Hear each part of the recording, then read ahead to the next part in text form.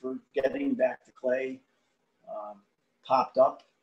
I started taking classes, much like you offer here at Sawmill. Kind of tried a few different places. Um, had some really great experiences, but I was really looking for more.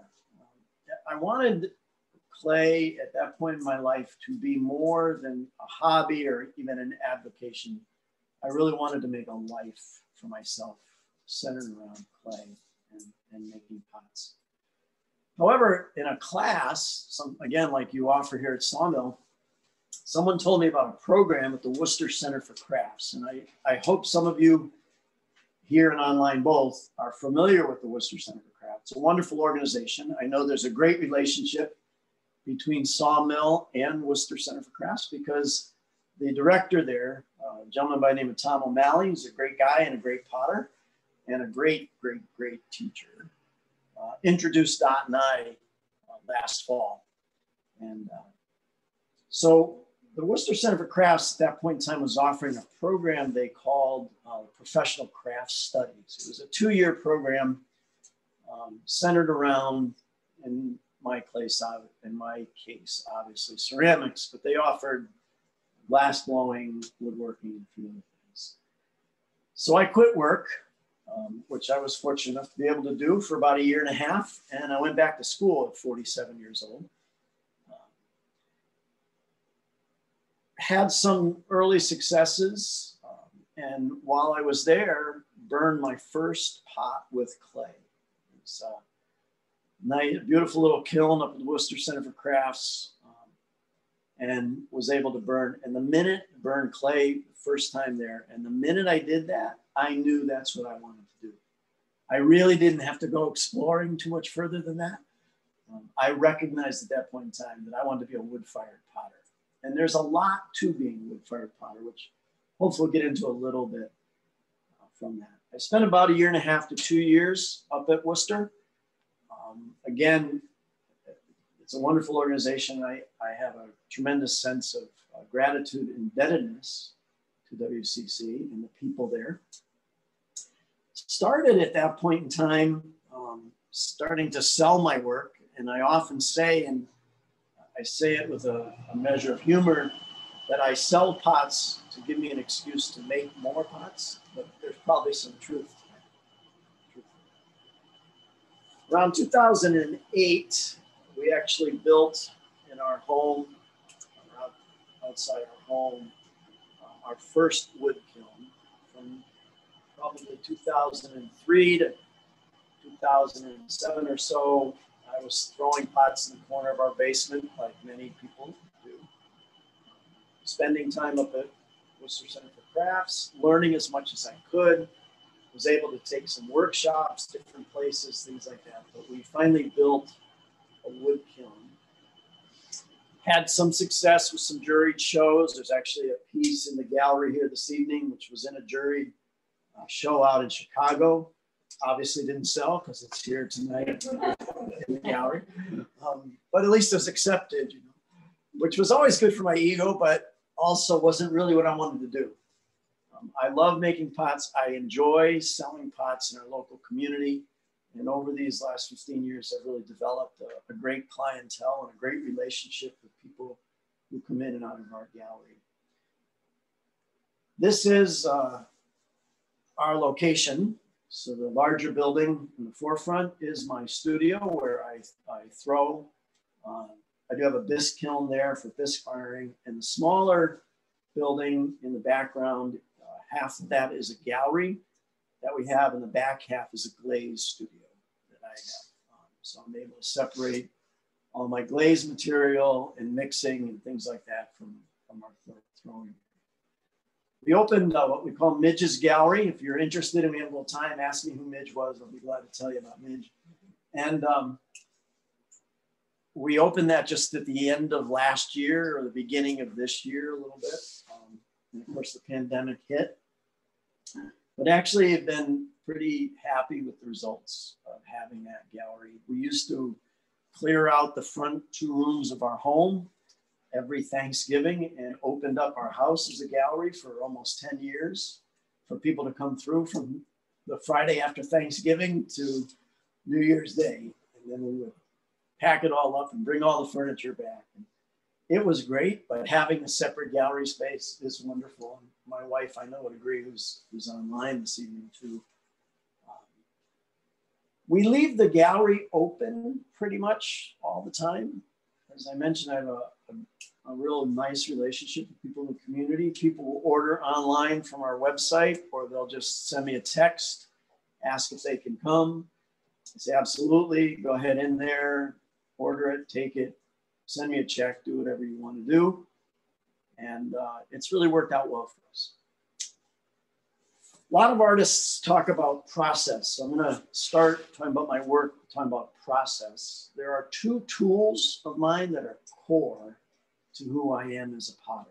One is our kiln, which is a 70 cubic foot um, wood fired um, single chamber catenary arch Noborigama kiln. We'll talk about all those things a little bit as we go. And then the second um, major influence tool-wise or process-wise is I throw on what's called a Leach treadle wheel. Um, you all right? Yeah, you're fine. Okay. That's down here trying to communicate with the, with the computer. Okay, so a Leach treadle wheel is a little bit different than a kick wheel. I don't know if people are familiar with what a Leach treadle wheel is. The flywheel on the bottom it is obviously operated by foot on, a, on an oscillating treadle as opposed to kicking the wheel. And that flywheel at the bottom of that uh, device is light. It is not heavy. In fact, the one in the foreground is a homemade wheel I found in Virginia um, I paid about $400 for it. And the one in the background is recently made by a wonderful craftsman down near Penland, North Carolina, who charged about eight times that. For me. and I almost, you tell, told me I had to make a choice, I'm not sure which one I would choose. Um, but the flywheel is very light.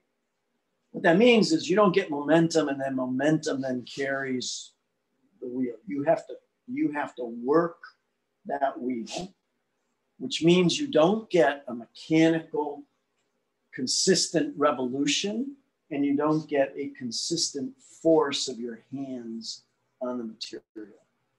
What that does for me is um, I try to believe, and hopefully you can see that in the work, is it develops what I like to think is a more relaxed and organic feel to the pots. And that, that's really, and plus, for my personality type, it forces me to slow down. It forces me to think. Um, and that's, that's good for me. We'll talk quite a bit about the kiln and um, the journey to building that kiln as we, we get into more a little bit about wood firing. I do want to talk a little bit, if I can move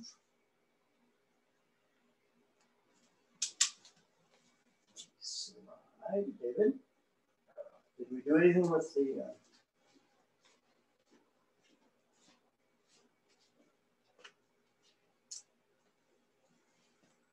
we disconnected my. Oh, there we go. Okay. So there's the kiln, the detail of the kiln, and there is a uh, picture of, of the site, uh, both with wood and without wood. So a couple things about this. Um, one of the reasons I'm here is to invite any of you who would be interested in working with DOT. There's obviously a limited number of slots. We're going to do a firing with the with the sawmill pottery community in April in our in our kiln. Um, you can see it's a pretty nice location, I think, but there's also lots of room for camping. So if you want to bring a tent, um, this is a 30 hour process. Um, so if you want to bring a tent and you want to burn some of your pots with wood, you're welcome. And you should see Dot and her team uh, sign up for that. The wood that you see stacked there on both sides of the kiln, it's about three and a half cords, and that's about what it takes to fire that kiln to a cone 10 firing, or 2385 degrees. So It's a lot of wood, and that takes a pretty good um, community to fire it successfully. You don't fire a wood kiln of this size by yourself. So there's a couple other potters locally that fire with me. Um, and I have a lot of friends and family in town that uh, run some of our shifts as we're firing. So that's the kiln site. A little bit about the influence of my work. Um, I think aspiring writers are often told, write what you know. And I think some respects, making pots is a little bit the same. So I feel I'm influenced a lot by the things around me and the things that I've experienced in life. Um, the shore, Cape Cod especially, big influence. And hopefully you can see some of that coming through in this work. So these bowls, the one in the two corners, the top left and bottom right corner, um, are what I refer to as Cape Cod bowls. I have sold over the years hundreds of them the people in our um, farmers market, in our community. I like to think that they are influenced by the waves, by the ocean, that, that ash and salt work that you see on the pot, especially the one in the lower um,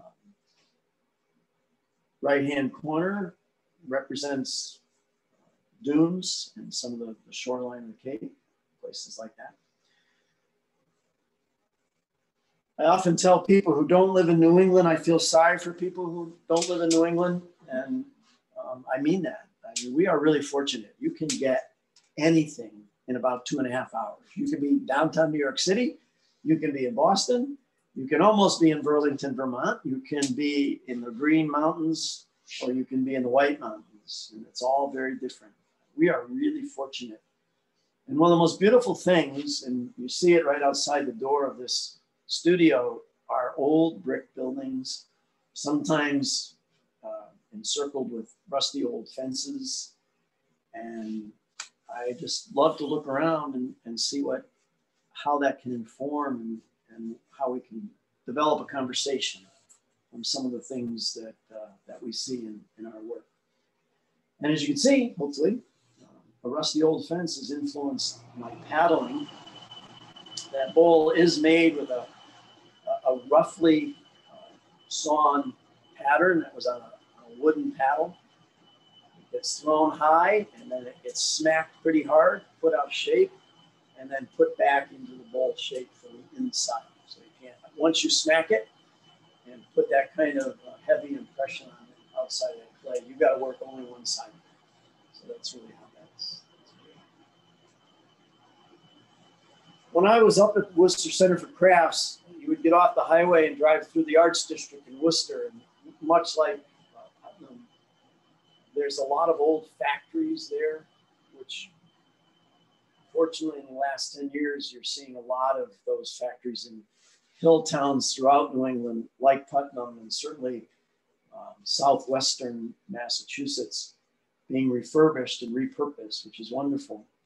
But I would look at some of those buildings and the corbelling, which is the ridges, the that have been made with brickwork um, on those buildings that are used for beginnings and endings.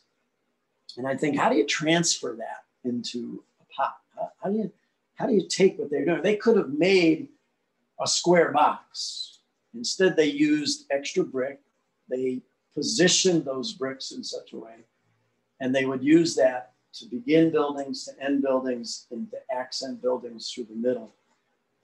And over the years, I looked hard to transfer that to different parts of my work. One of the more successful has been, uh, for me, what's a pretty standard mug design that has evolved over the last decade or so. It's probably one of the most popular pieces that my clientele seems to enjoy. And it works really well on um, all sorts of different glazes and treatments that I use to decorate pots. It is a challenging piece for me because the proportions and the subtlety of line needs to be right for the pot to have the right feel. Um, angles off a little bit, um, where the where the pot begins to move in and then back out.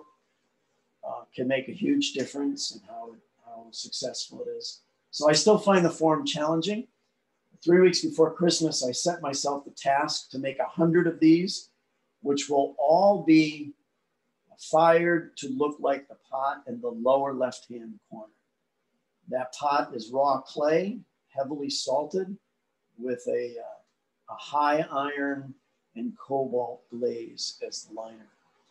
And I love making it. I love firing it. It sells really well. People often comment on how much they enjoy drinking out of it, which what more could you ask for, as, a, as you know, as a potter. But it was all influenced by that year and a half or almost two years of getting off a highway and looking at old buildings and saying, how can I transfer that onto my, onto my work? Um, nature paints beautifully, you know. I mentioned Cape Cod already. I don't know if anybody's familiar with the Cape, but if the outer Cape, there's a place called Head of the Meadow Beach. It's in North Truro. It's one of it's an interesting place because it's one of the few places on the East Coast that you can watch the sunset over the ocean. So think about that, right? You're watching on the east coast of the United States, the sun set over the ocean, right, which mm. It's a pretty challenging spot. But you can do that at the Meadow Beach, and that's what that, that picture is. Um, and nature, in terms of fire and atmosphere and wood ash and salt and iron, can paint pots beautifully, just like sky and sun and water and atmosphere can do the same in the sunset. And I love this glaze. This is a, a, recipe. It's called Ojada. It's a recipe that I took with me from Worcester. It's nothing I can take any credit for. It's pretty popular. You can find a lot about it even online. And it reacts really well in my kiln. Um, it reacts really well in, a, in the design of that kiln. And, and I love what it does. And you can see that it moves from um, a deep maroon to a bright orange, yellowy green, and, and a lot of the colors in between. The pot, the detail of the picture, the picture is also in the, in the uh, as I mentioned already, it's in the gallery here tonight, so you can get a good look at it.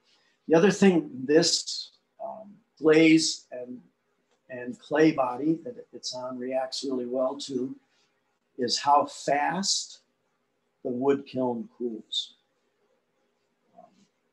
I don't know how many of you here when you're firing like to peak, right? You know, it's okay, it's 700 degrees. Can I just lift it up and see? Right? You've never done that. I'm sure Dot doesn't let you do that.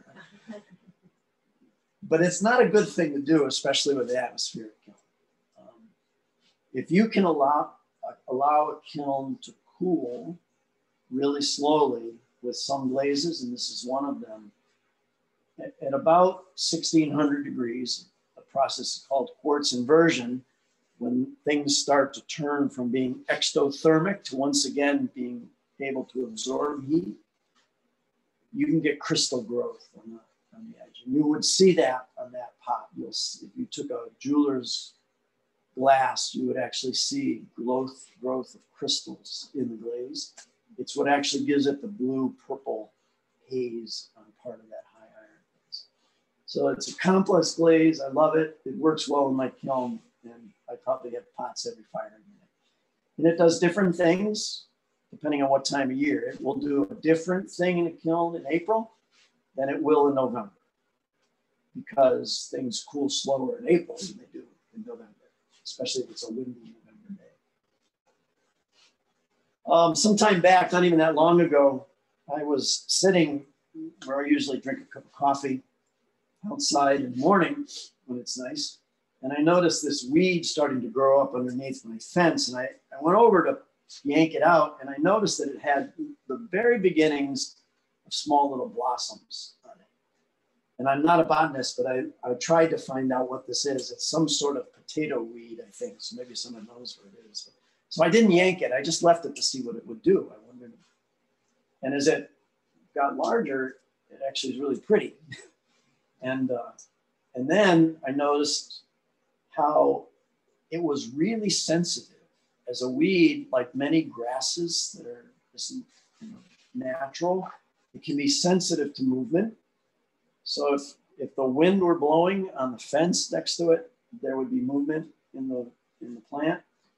And then even the juxtaposition of the real straight lines of that white fence behind it. And I said, how do I transfer this? How can I, how can I capture some of this?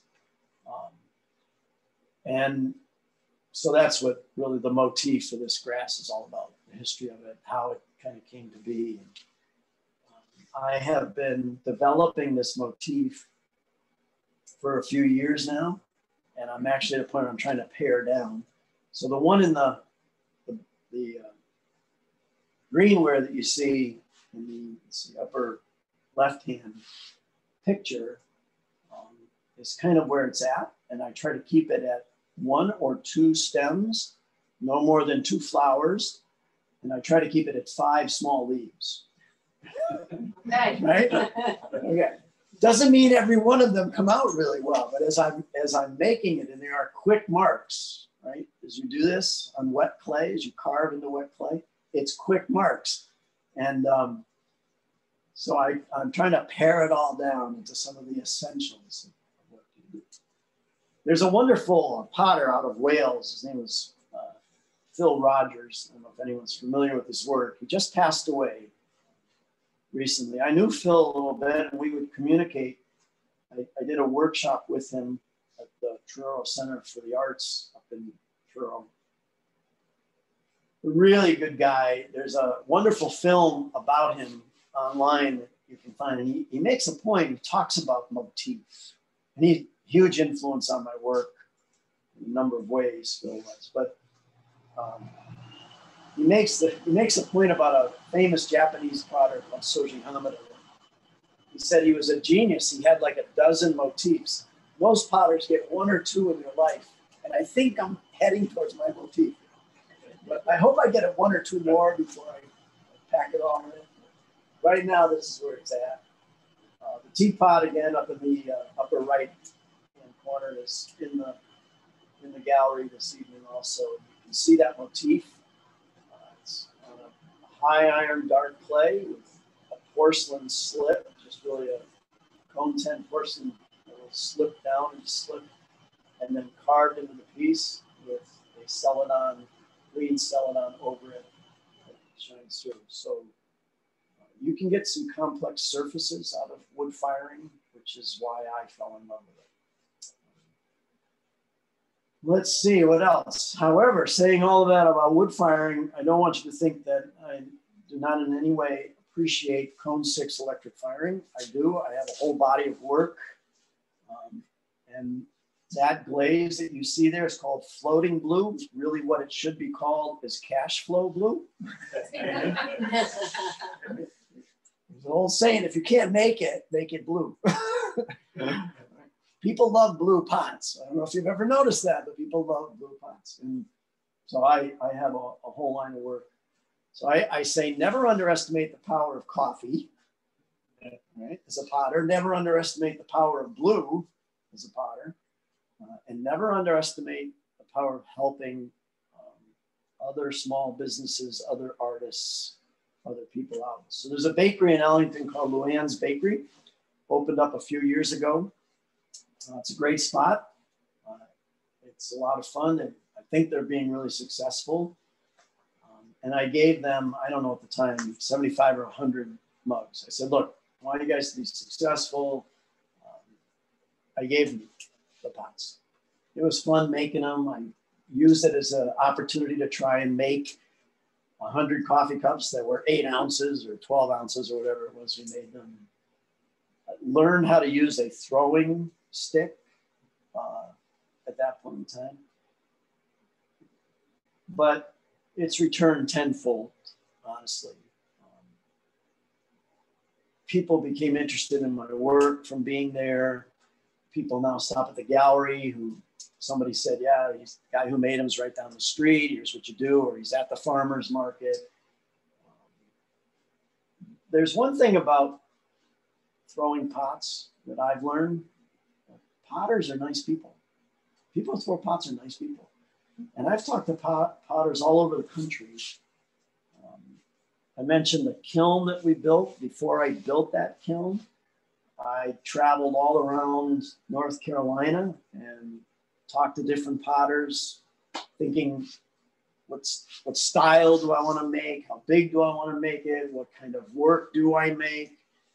And people just took you in and they stopped what they were doing. Even people who that's all they do is they're studio potters. They don't give classes and don't have a studio, and that's how they make their livelihood. Sometimes if you're there, they'll ask you to help glaze pots, but that's okay. I'm learning something when you do that. I really found that all, all around the country, people who throw pots are, are good people. I would encourage if you do that, buy some of their work too. Right? That, that's, that's so Anyway, cone six, big part of what I do as well. It's not all about wood firing, but we will talk about wood firing a Muddy Brook kiln. So as I mentioned, this kiln is, is about 70 cubic feet. I had a small version of this kiln for 10 years. Um, it, it's only that that was only 16 cubic feet. It was the floor of it was about table height and um, I had to do like advanced yoga poses at times to fill that kiln. Okay. Now, as I told you what year I graduated high school, you know that I should no longer, in this point in my life, be doing advanced yoga. So, um, the biggest design paradigm I had is I want to be able to walk into this kiln. I want to walk into it. I don't want to have to bend over. I don't want to have to stretch. I don't want to do anything. So the inside of that kiln is, is about six foot five inside. So I can walk right in there. I can place pots on the highest shelf. And, and I, We've all, um, many of us have done wood fire at Worcester. Have you? Okay. Yeah, most of us have, many of us have. So what's the size of that kiln in relationship to this kiln? So that kiln is 16 cubic feet. The first kiln I had was that kiln. Okay. It's called the Peg Udall design. If you ever look at the book um, Wood-Fired Stoneware and Porcelain, the detailed plans for that kiln at Worcester is in that book. And Tom O'Malley helped me build it a bit, a bit was when, he, when we were there together. Um, so you, if you work there, you know what I mean. Where you're, you're, you know, especially you get up top and you've got to like really stretch. You just point to David. David does all that stuff. Right. Well, David's young enough to do that, but I'm no longer young enough to do that. So um, I I wanted to, but it's exactly the same design. So it's a catenary arch. Um, if we weren't online and we were having a little more interaction, I'd ask, does anybody know what the what a catenary arch? The, the, the, it's a it's a beautiful thing. It's a force of nature. So catenary arch is made pretty simply. You take how big you want, how wide you want it, how high you want it. You flip it upside down and you drop a chain from those two points to that point. And the natural arch that forms by that chain is called a catenary arch. Okay, so you can, it can be, a catenary arch can be any dimension because it's, it's the natural force of gravity. The wonderful thing about a catenary arch is it's also self-supporting. So you don't need any buttressing. So if you go like up, up the street here, I saw there's a cathedral up the street. Any, any other arch type needs buttressing. Either it's got to go way down into the ground or you've got to build spires to buttress that thing so it doesn't collapse on itself. Catenary arch actually falls down and supports itself. There's no mortar on that, on those bricks. It's dry stacked. Um, what's there's a skim covering that covers some blankets just so you don't uh, so you retain heat. But it's a beautiful thing of nature and mathematics. So it's about what is that? Six times, four, six, four or five times larger than the Worcester kiln. I used to be able to put about 110 pieces in the 16 cubic foot. Um, this kiln will take 300 to 350 pieces of my work.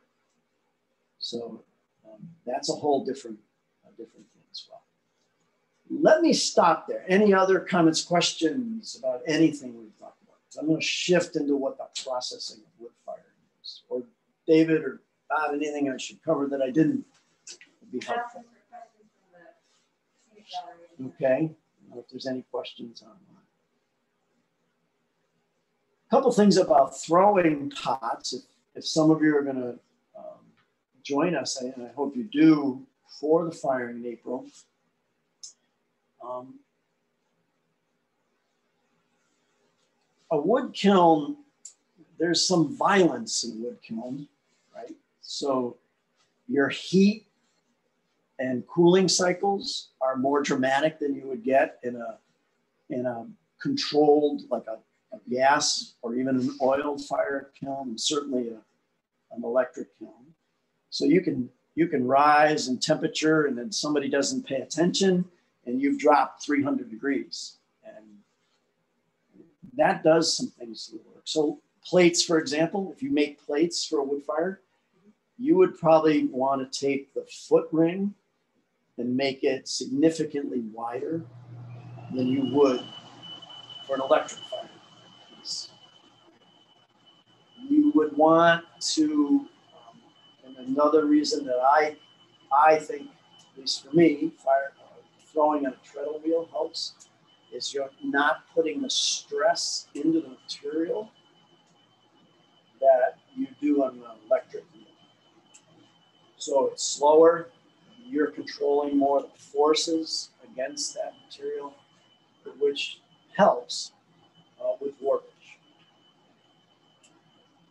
Plates are a whole discussion in themselves if you're going to use them in a wood fire. But um, ease, being easy on the material and being a little wider with the foot and thinking about the, the end of your rim, right? maybe a little thicker also can help. Where you wouldn't, at least I didn't, and don't necessarily think about it if I'm throwing for mid fire or electric fire.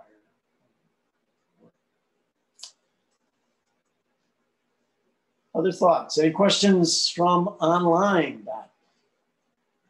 Okay. Is there any particular shapes that you like to, that you prefer to throw in a wood firing?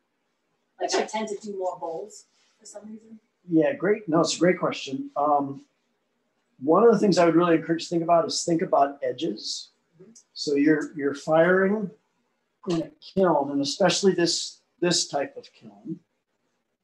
Fire is over here. It goes up the arch, and the the flame, including the ash from the wood, falls on your pots like snow.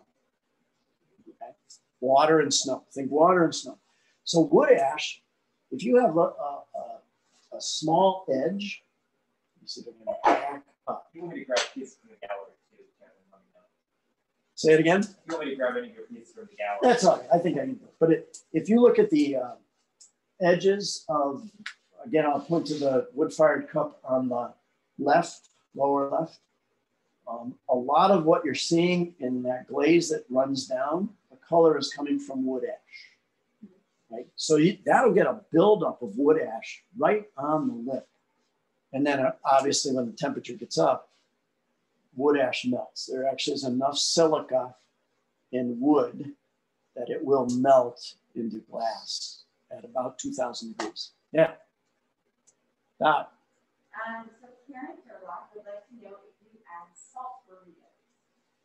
So great question. Um, yes, I add salt. I do not use burritos. So Karen's questions about salting, those of you who've salt fired, is a lot of people will take newspaper, put salt in it. It's just regular kosher table salt.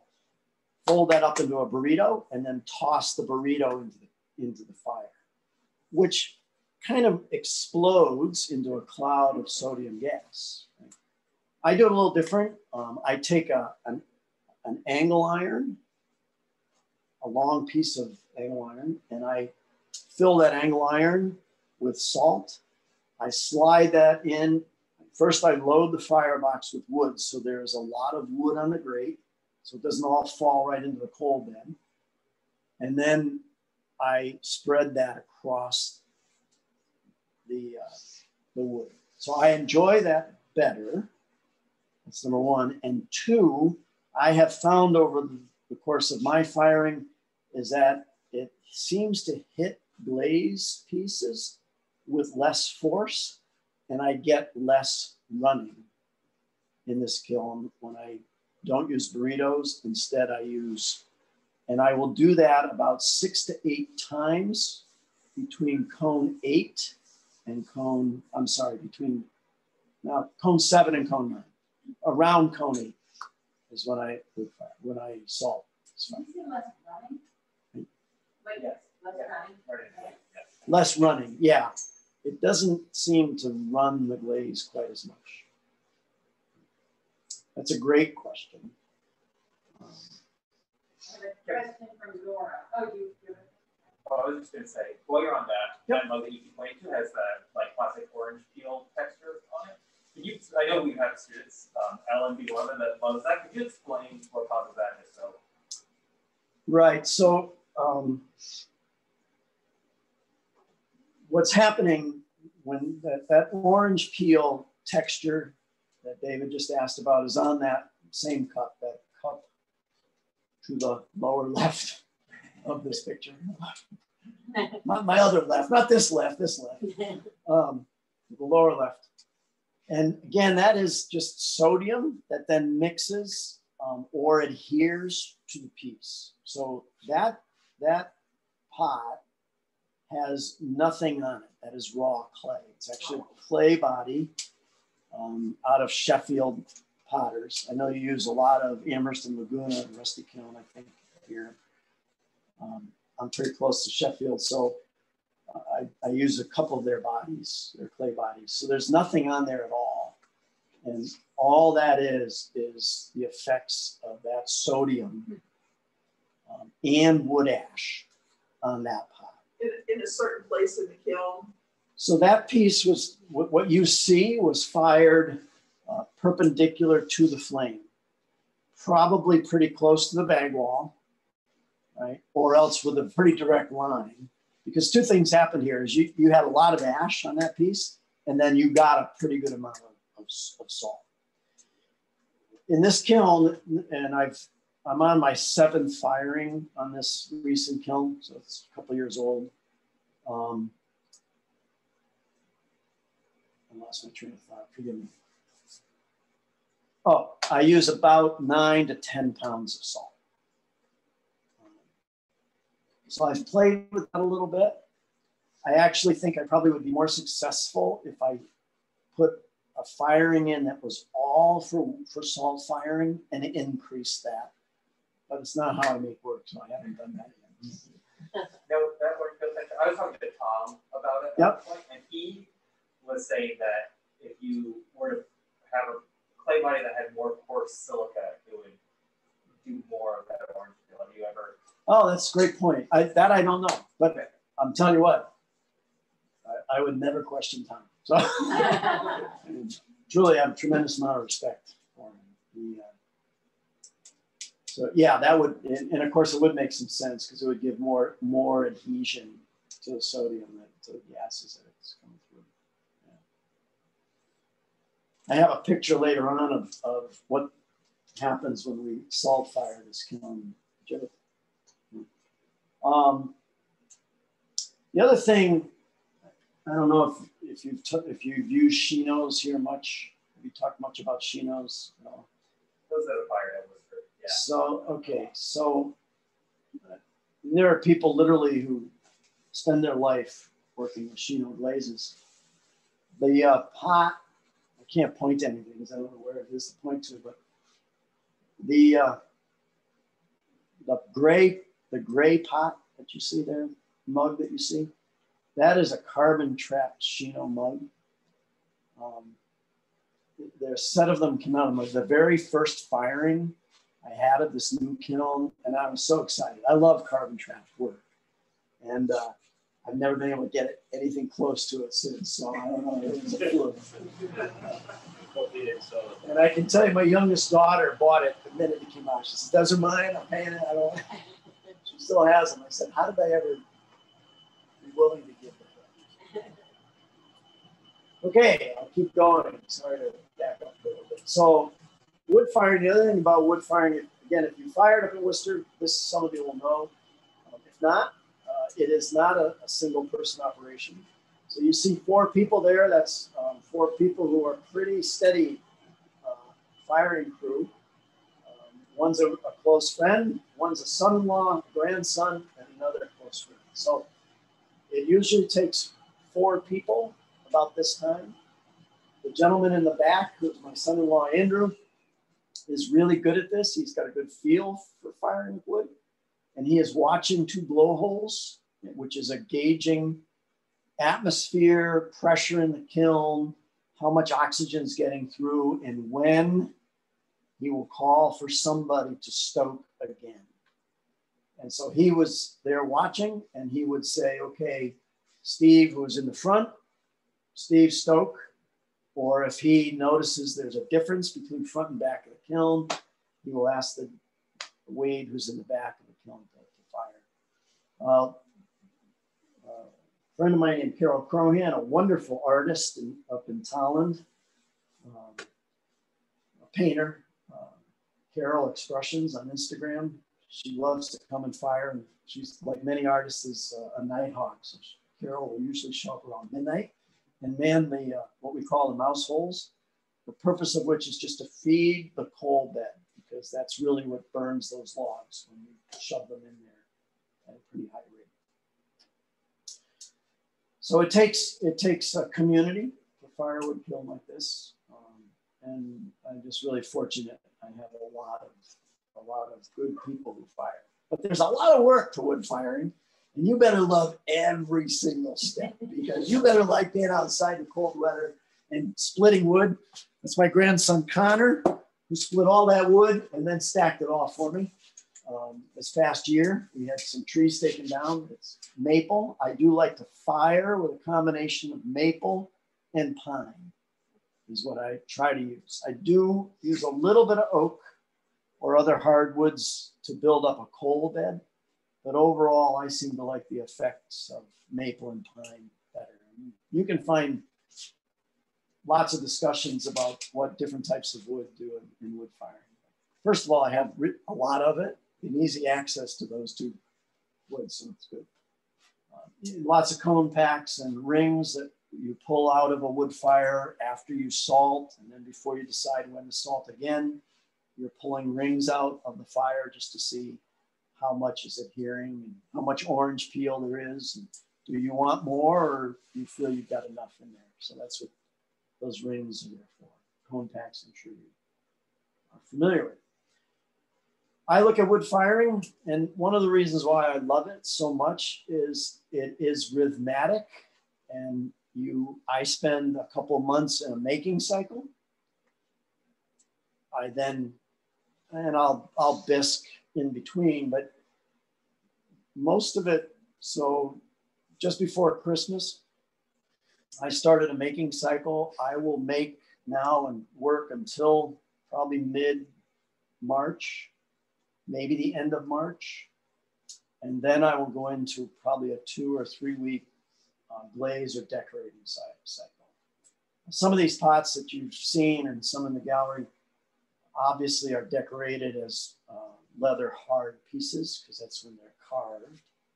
Um, so some of it is not that binary, but there's it's pretty much a, a making and then a glaze decorating and then a lot of prep.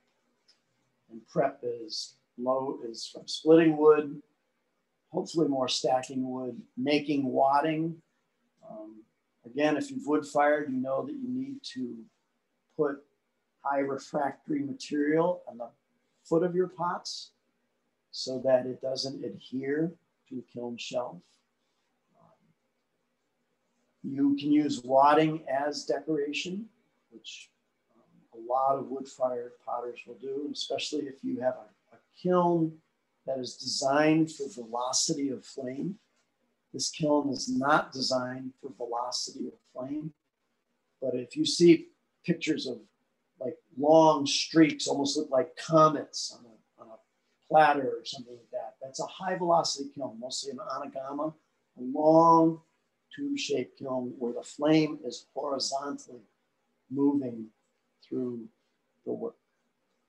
As I said, this kiln goes, this flame goes up the kiln and falls like water through the pots. It doesn't blast through with high velocity through the pots. So you design for that, you make for it. Um, and then I usually take about three days to load this kiln. Now, some of that's just because I'm really inefficient and move things around and pull things out. And sometimes I'm alone. So you could probably load this kiln if you had a team of people and probably a good long day. But it's 350 pots to get ready and line up and find the right spot for. And think about, well, I want a real high orange peel effect here. Or no, I don't. Can we put this somewhere? Or this really, this glaze really takes the heat. And this glaze, can we put in a cooler spot in the kiln? So you're thinking about things like that, which I find fascinating and fun. It's all part of the process. I mentioned it. Um, oh, so this picture, this, uh, I, one of the gentlemen who fires with me is one of our fire, firing crew. His wife got up one morning in our last firing, which was just this past October. I think, when was it, David? October, November? Anyway. Yeah. And um, she got went out on her porch and she saw this big trail of smoke that you see in that picture. That is the Muddy Brook kiln when we were salting. It's actually not smoke, it's actually salt. So my point of the picture is make sure you get along with the people in your neighborhood. or else do this in the middle of the night. So um, there are a couple times where a big plume of white smoke will come out, and there are other times where a huge plume of thick black smoke will come out when we do um, a reduction. So the cycle, the actual cool, uh, neat part of the whole thing is when you're firing the kiln. So the way we fire the Muddy Brook kiln is we will preheat the kiln. So once we load it, we brick up the front door, um, I usually use propane. You can start a small campfire, but I'll just stick a, a propane uh, burner in there on just a low flame. It won't get any higher than 200 or so, 250 degrees. And I'll do that for about eight hours. So if I start at midnight, I usually come out then around four in the morning and I'll start a campfire a little bit of a wood fire right behind that propane. And that begins to build up a coal bed, just like you would for a barbecue. Somewhere around three to four hours later, I'll turn the propane off, put that away. And at that point in time, you can no longer leave that fire. You've got to feed that fire and you've got to take care of it. And so you build it up slowly. Um, and I'll spend the next 10 hours or so, just building the heat up until we get to cone 010, which is about 1800 degrees, give or take. Actually, I, what I'll do is when the, the hottest part of the kiln reaches cone 010, or about 1825 degrees, which means other parts of the kiln are still probably 150 degrees cooler than that. Earlier than that, we will do what's called a body reduction which means we now will overfeed the kiln with fuel. Um, it, that's when you get a huge plume of black smoke. We will overfeed fuel. We will damper the thing down. So what's happening now is the fire is choking out. It wants to burn. So it's actually burning the oxides in the clay body itself. It's actually taking the oxides out of the clay body to feed the fire. And that's where you get um, that beautiful flashing and gold and dark browns and reds and orangey kind of flashing that you get in a wood fire. It starts to come from that body reduction. In this kiln, I do about 30 to 40 minutes and, and then open it all up, let the flame burn out, clean it out, get high oxygen, nice uh, um, open air through the kiln. And I think, I, I feel it sets kind of that flashing in at that point. From then on, it's just a long process of slowly building heat throughout the kiln. Um, when I get to about cone seven, I make a decision is do we want to keep firing and just kind of finish? Or do I want to sit there for a few hours? A lot of potters, especially wood fired potters who want to get real flashing effects, will, will soak the kiln. They'll just stay at 2200, 2300 degrees for six, eight extra hours just to let that process of ash build up and reduction alternating with oxidation of the kiln, they'll just let that happen at that temperature. So it's one of the decisions. As I said, I get to cone eight, we start to think about salting. I usually do that over a period of two to three hours. I'll do about three pounds at a time, then let things go, pull rings, let that melt, let it work through the kiln, build up a few more degrees of temperature and do it again and then do it again about an hour later. So I, I salt around cone seven to cone eight for, um, as I say, about three times, and we use about 10 pounds, nine to 10 pounds of salt. Somewhere in that cone nine temperature, you need to decide whether you want to reduce glazes or not. So if some glazes, Celadons, for example, will react really well to again going through a reduction where you're starving the kiln of oxygen so that things that oxides in the glaze body get get used to feed the heat. Another question. Um, Dale is asking, does soaking help with crystal development? I don't know the answer to that question. Um, I've always been under the understanding that most of the time that happens in the cooling cycle, but I don't really know the answer. I don't. I can't say that for sure. It's a great question. You should know that. What glazes would not like the reduction? What glazes would not like like the glaze reduction? Yeah, rutiles, I don't know. I, I find any kind of glaze with a rutile. I in my smaller kiln, I use a blue rutile glaze recipe. I think you and I talked about it, David. That um, it was beautiful. I cannot get it to work in my in my new kiln. I would feel like really insecure about that, except that years ago I took a, a workshop from a gentleman by the name of Malcolm Davis. Some of you may remember Malcolm Davis. He was really a great guy, character. And uh, he had just built a new kiln, and his whole thing was carbon trap Shinos. And he couldn't get it with the new kiln. So I was really glad I knew that because it really helped me in my insecurity. if you ever read books at all about any of this, please read the book Art and Fear. Ever read it? Anybody ever read the book?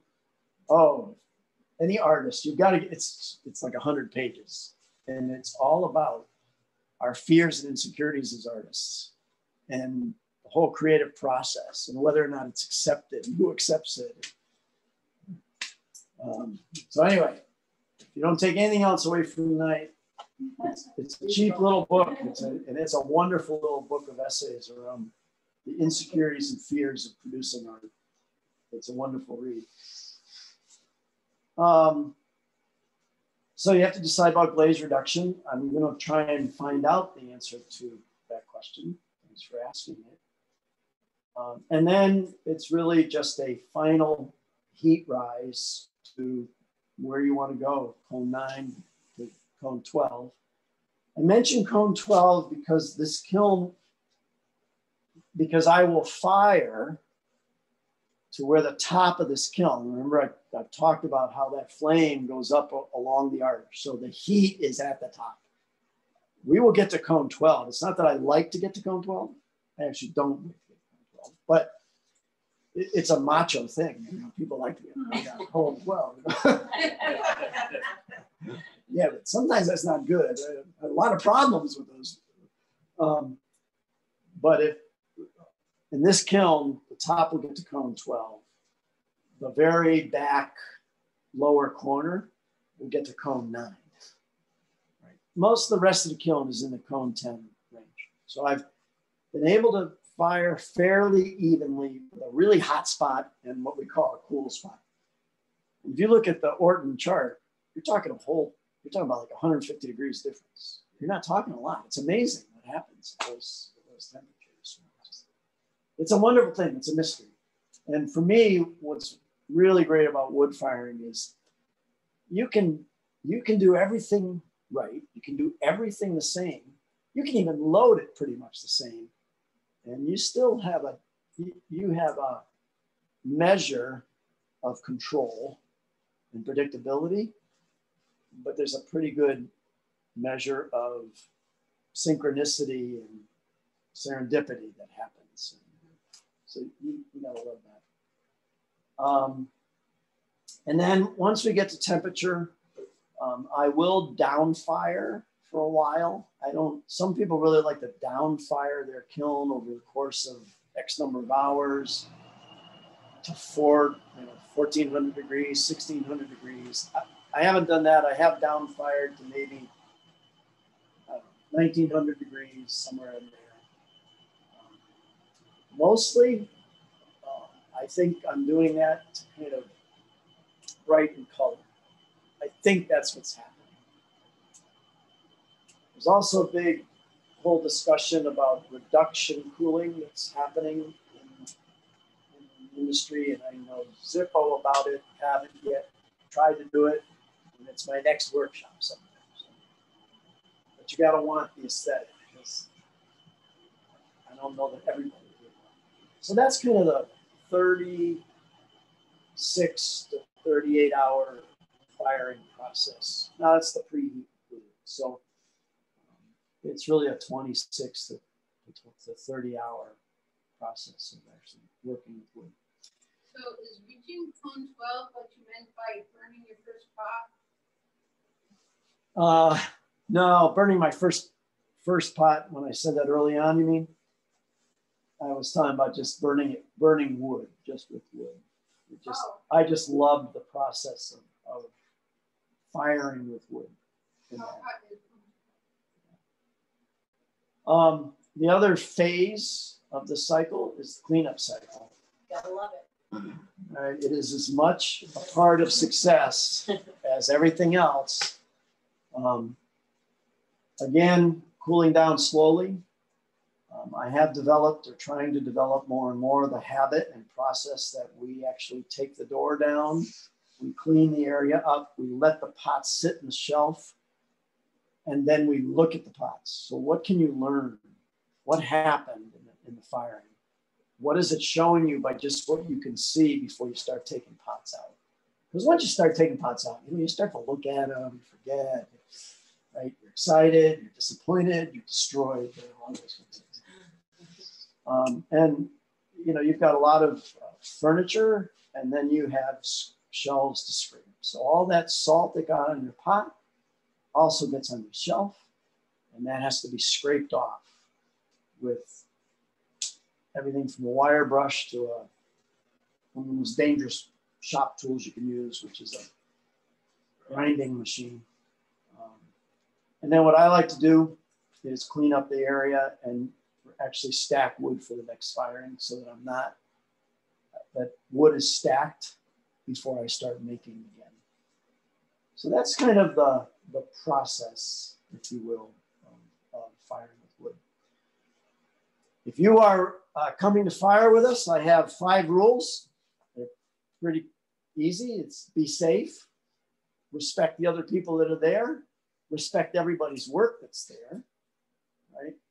Respect the kiln and the fire. And what I mean about the respecting the fire isn't necessarily just being safe around the fire. Um, I mean respecting it. I don't throw I, I don't throw my potato chip bag in my wood kiln. I I understand it probably wouldn't make a iota of difference, but I don't throw my potato chip bag in, in the wood fire. I got a trash can out there for trash. This is not an incendiary for my trash or anybody else. It's for so I mean respect respect what's happening. What is what is it you can learn as you're watching that fire hit pots? Um, one of the most favorite pots I had of our out of our last firing. Um, I watched that pot because it was right in front of the spy hole. I watched the ash build up on it. I watched the pattern of the flame hit it. I actually watched the glaze crawl, which broke my heart, by the way, but it actually came out nice. Right.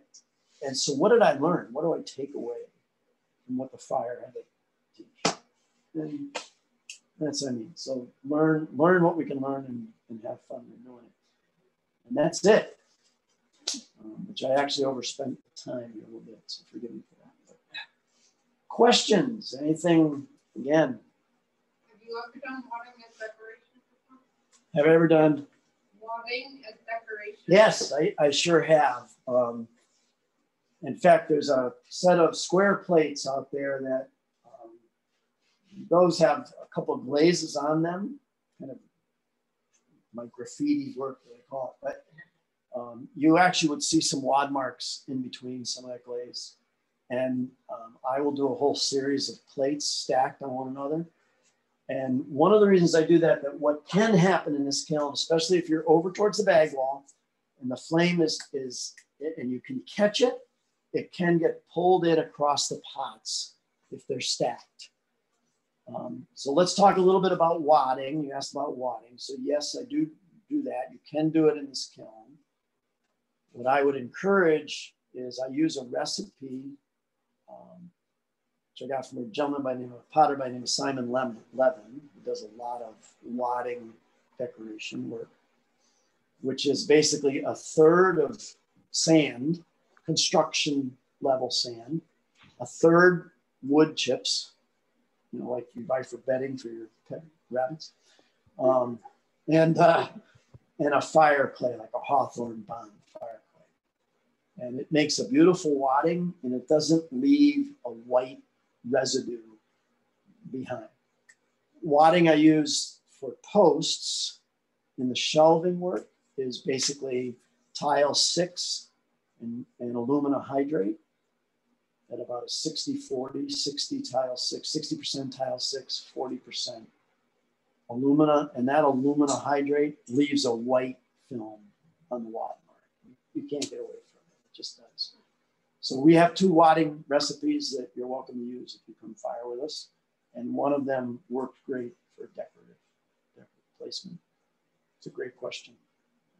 When you load the kiln, um, and you have a group of people that come down, do you separate the glazes that everybody uses because certain parts of the kiln make it look different, like you were saying before, when you put a piece here because I know it's gonna be this, put it over here because I know the salt's gonna be here.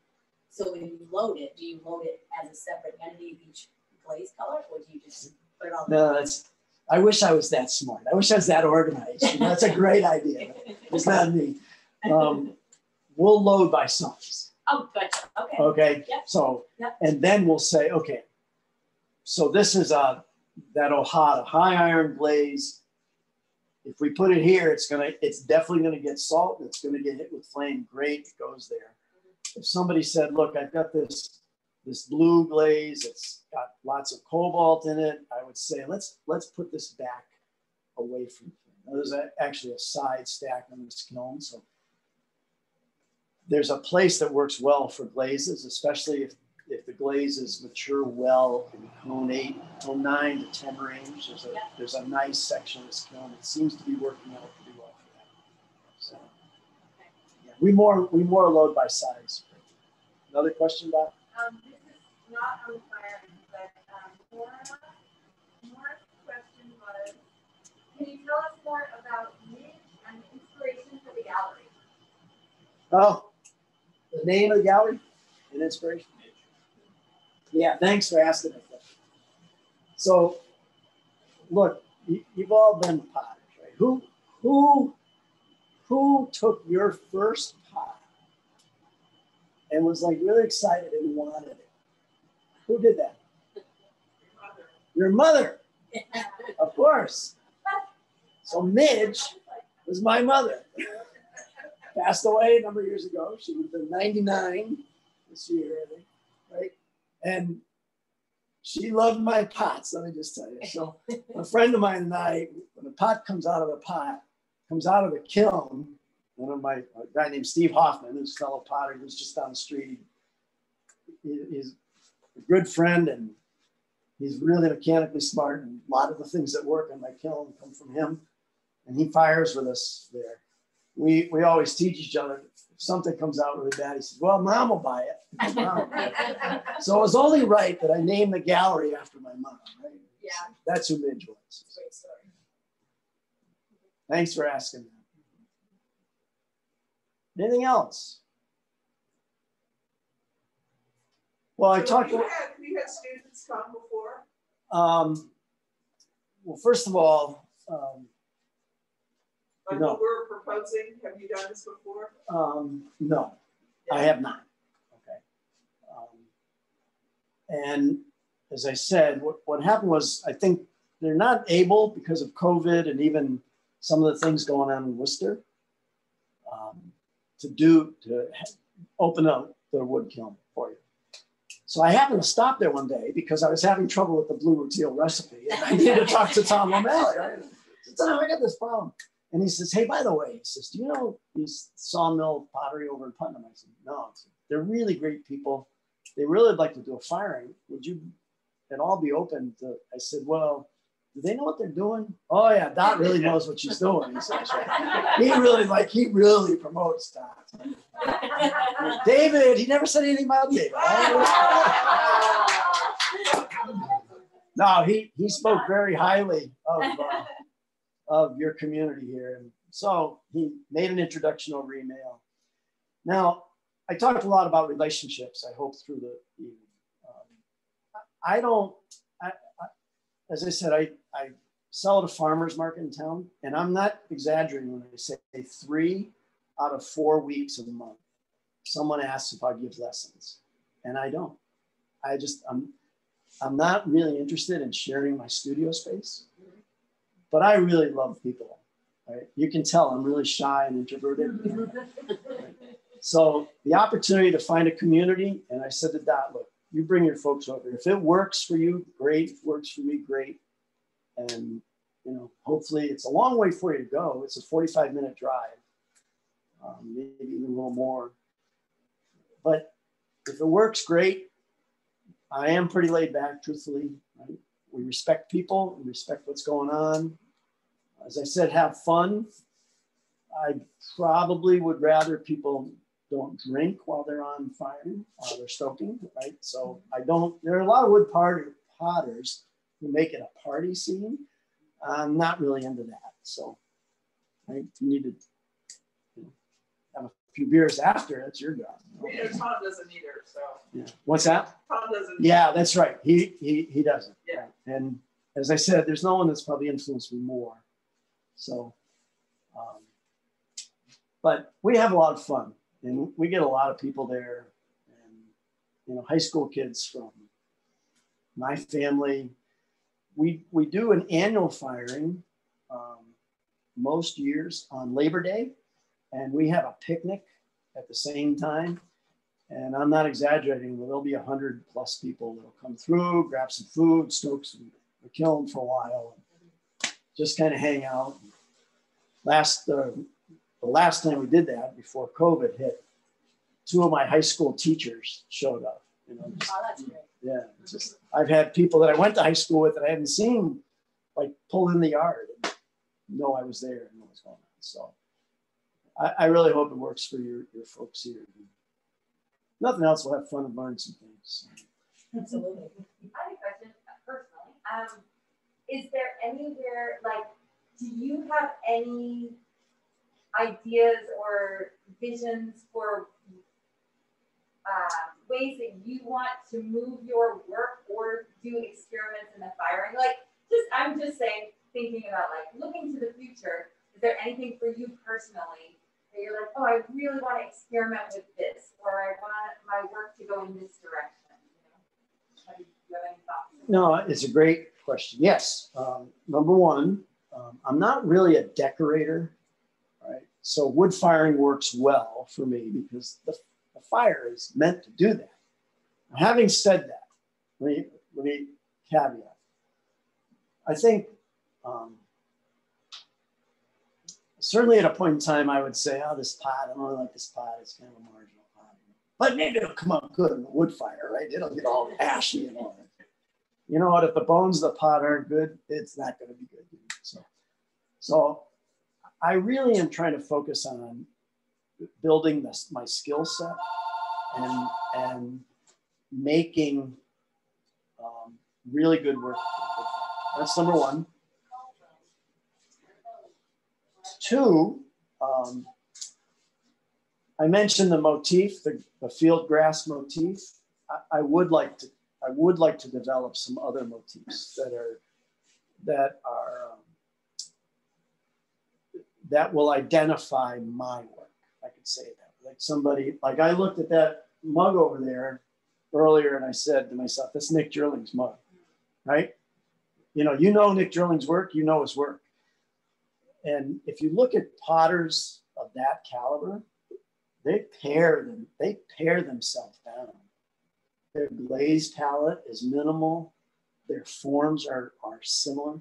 So that's the direction I'm, I'm trying to go in. At the same time, it needs to work in that kiln that I've spent a lot of time and effort um, putting out there. And then um, so that that's that's kind of know, that's the answer. I should talk about this kiln, by the way. I, I mentioned that the first kiln, Tom and myself and a gentleman by the name John Bernard, a friend of mine, is also a potter. Three of us built that kiln together. And I learned I didn't want to ever do that again. I did not ever want to know.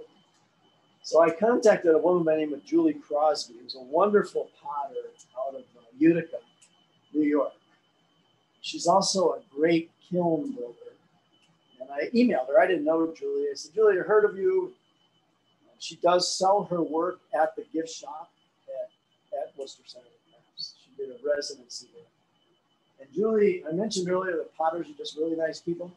So I emailed Julie back and forth and I said, okay, would you design, help me design this? We got through that. I said, Julie, I don't want to build this kiln. Would you build it? So she said, well, yeah, it'll take about three to four weeks. I said, okay, fine.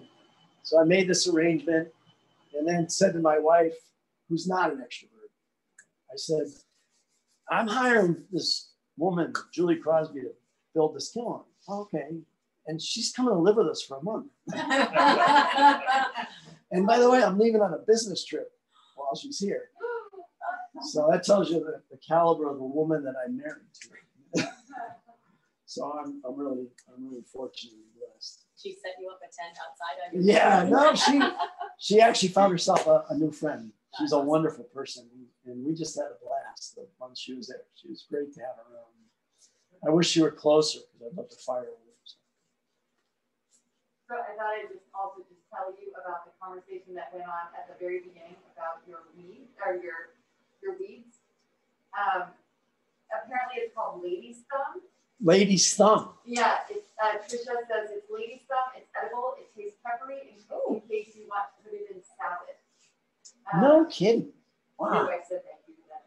That's and then Gail added it was Oriental lady's thumb or creeping knotweed. Um, and then uh, Karen Durlock just said um, it's a variety. The grass plant is a variety of smart weed. Well, thank you. Um, and can you do me a favor? Can you like copy and paste that part of that conversation and uh, capture it for me? I will never remember that. I screenshot it. Yeah.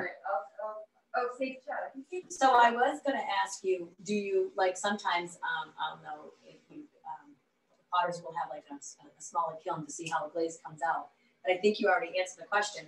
I was going to ask, do you use your smaller one to test something, but then you can't always replicate. So yeah, it really kind of voided that out. So I do have a small electric yeah. test kiln, yeah. right, which is still useful in a lot of ways. You can at least see what heat's going to happen. So one of the uh, unintended consequences of built, so I built this big kiln, and it really it's allowed me to throw bigger work, build bigger work. It's I I've been really successful with a set of long, am I saying the word right? Charcuterie? Charcuterie. Yeah, that word.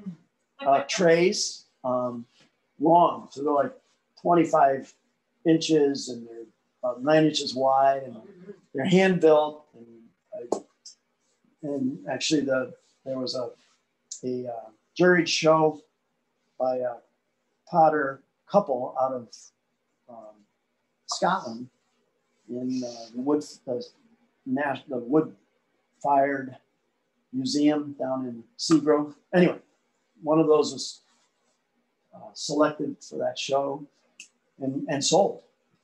Nice, Nice. So, uh, but I, I've been really successful with them. I could never have done that, right, before. So it's allowed me to expand my. That's a good commercial piece for restaurant. Yeah. Yeah. Yeah. However, it also, though, I wish I had another potter close by who had a 16 cubic foot small fast fire kiln that I could say, hey, can I throw this Yunomi in your firing and see what happens? Because I have to now really plan out my experiments. So I want to start building some work around what's known as a Nuka glaze, which is really a simple formula. Usually it's 50% uh, wood ash and 50% like Cornish stone or some silica based stone. So I put a bunch of small Yunomis, teacups in, in the last firing. Only one of them came out good. So I sure am glad I didn't, you know, put a dozen bowls in. But now it's six months before I really get to fire things with that. So I have to really plan what I want to experiment and how I want to build the knowledge base. Frankly, from a selfish point of view, having a community like yourselves who are interested in wood firing allows me to fire that kiln more often. So that's why I say, I, I, um, I'm not, I mean, I hope I'm a nice guy, but I'm just not like completely altruistic. There's something for me in this too. So, So let me ask, when you, I, if I remember correct, in the beginning, you had a smaller uh, wood kiln like the one at Worcester Center Crafts. That no longer exists at it all? does not. Okay, I, that's It what I does think I was wondering. Sorry, Do you fire in that smaller size to see, but I think you had already said that what you have, what could happen in that one did not happen in the larger one. Yeah. Or you can't replicate it yet. Yeah, I will though. Of course you will, yeah. Yeah. So. That's great. I'm, I'm, I'm feeling anxious about the amount of time I'm taking away from you all, so. Taking away No, no. uh, Oh my This is like the biggest thing people have done in months. Yeah, right, I guess, there is that too, it's not like you have anything else going on, right? You're gonna go home. then. Touche. Any other Everybody thoughts? wants to get ready to- So, The glazes that you offer, Right. right, because you offer them, or is Doc and David, you guys gonna have the glazes we use, or is he gonna have the glazes we use? I think we're gonna have them, and we're gonna glaze ahead of, isn't that what we, We we're did, gonna work on those details. That's different from Worcester Center. I only asked that because I was gonna say next, whatever glazes we have, I kind of, I would like to know something about it so that we can look it up, like, I- like when I had asked him, where does it go, what does it do? So I can make a piece according to that glaze. We'll probably use, um, get a lot of the recipes Tom Okay, uses that lister, so that Mhm. you all are using the places that you're familiar with. Yep. Um, and that we, we've used in the past, and then, you know, Kevin has other recipes that he, uh, doesn't mind sharing, and that he feels. no, no, well I, you're welcome to my recipe book, I mean, I don't. Mhm. we're- And we'll also have those too, but, um, that- Tom's always been super giving about those recipes, so Yep. that's probably where we'll start, like, Mhm. four of his recipes or something like that. We definitely want to glaze here. Yeah, I but think they're gonna go there and load, and it's gonna take all day. to load. I think I like that. It's gonna be here with the glazing so that we can really look at it, Actually, yeah. study it, ask you guys more in depth, because I always felt like when we went to Worcester, we were rushing to make sure we had the time frame. so that's great. Yeah, I will, I will tell you that one of the things I have, so a couple things in this, in the point of this conversation about rushing. I try hard at this point not to do that anymore. In fact, my last few firings, I actually haven't like hard scheduled firing. And I said, okay, it'll be sometime the end of whatever. And that's part of the reason. I, I hated that. I hated that bum rush to the, at the end. So now you may not be able to avoid that. I, I recognize that. So here's one thing I would offer. So if you're gonna work with Dot and, and David, you don't need to worry about making enough pots to fill this. Make pots that you're interested in making. Make, bring pots that you feel confident with. Don't, don't try and make 20 pots just to make 20 pots. If you wanna make 15 pots and focus on, it, I will have enough pots to fill the rest of the kiln. Okay. Fair enough? Yeah. So that takes some pressure off of you as a group. You don't have to, oh man, we're gonna be there in six weeks and we gotta come up with three hundred pots. You don't have to do that. I will have enough to fill it. You can have as much room as you want. And then uh, I have one set of plates that I've, I have a, a really good customer who really asked me to make it for him. So I will need room for twelve plates. Other than that, it should, so, okay. So there's really not even quite a, a big limit, right? Well, so to speak. We'll have to see how many people. That's right. Sorry, I have a question from Rebecca McCann, who says, have you been able to fire the blue, green, or rebate blaze in your current home? She's setting me up with that question. I figured. She's setting me up. with it. But Rebecca is a good friend of mine for many, many years. Okay.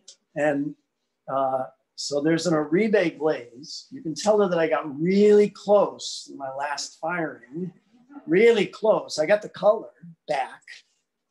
What I, but it ran some, right? She's smiling and nodding. Yeah. Um, she has a teapot of mine that I still regret selling to her. She could double her money by getting it back to me. Um, Oh, she's saying no. yeah. so uh, it's it's a standard Oribe glaze. It's a beautiful glaze, and it it goes everywhere from translucent green to this turquoise, and it is all about thickness and atmosphere. And then an assault firing, if it gets not blasted, it's it's a gorgeous glaze. It's just it just it's gorgeous. And it's that blaze and, and the blue rutile that I'm still working on getting back. So why I'm really glad I ran into Malcolm Davis and he said, you know, it makes, you know, somebody that good and that famous, if he had trouble, it's okay. Then. It's like Simon and his new kiln too. Simon Levin.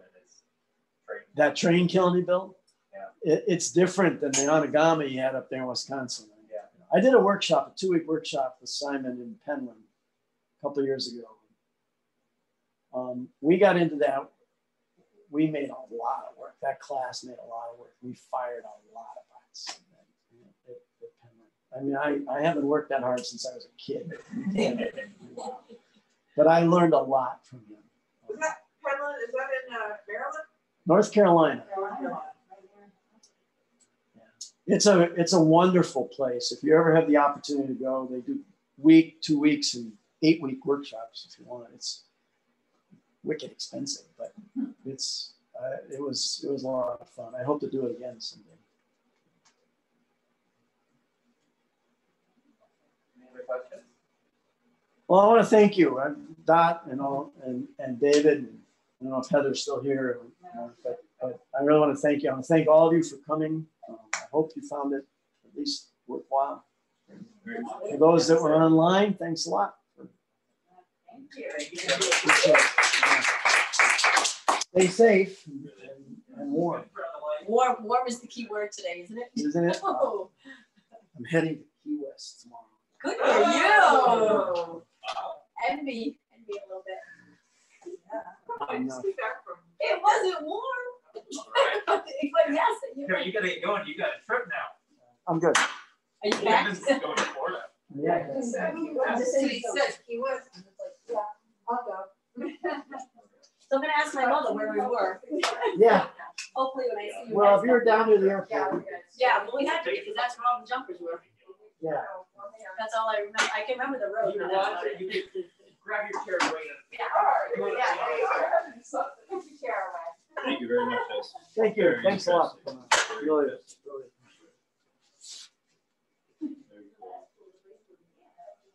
Yeah, yeah. There's hope for me.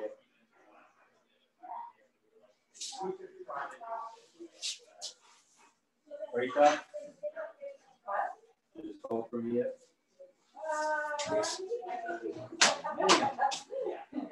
It's hard. Wow. It's That was hard. That was hard. It's hard. I remember uh, somebody said somewhere along the line in my journey, I said, well, you know, how, how do you make a really good, you know, we were talking coffee. Yeah. She said, make a thousand, and then make another thousand, and about that time, it starts to come together. I was on, I was on the, uh, Sorry, I thought you were just like being with your buddy. wasn't this past one, was it? It Might have been, uh, two years ago, and I've always, like you said, I've always found like Robert very, you know, talkative or, you know, very happy to speak to you, whatever. Um, and, uh, I've always asked questions about pots, whatever, and I've always, like you said, I've always bought something. Yeah, it's, You know, and this guy was like,